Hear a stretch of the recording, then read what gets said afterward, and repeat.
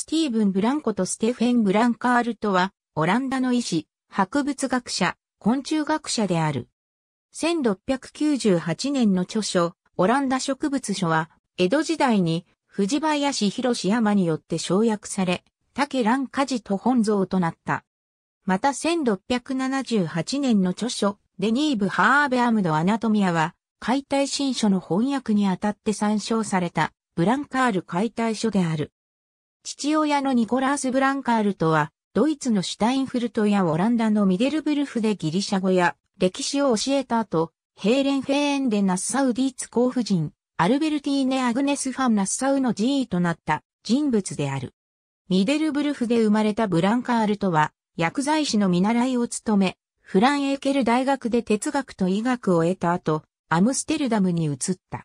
多くの科学者たちと付き合い、多くの著書を残した。フランシスクス・シルビウスの信奉者で、大量のコーヒーや紅茶を用いることを進め、梅毒の研究を行った。観察を重視する経験主義的な科学者で、昆虫の自然発生説を否定するために、フランチェスコ・レディの実験の追試を行った。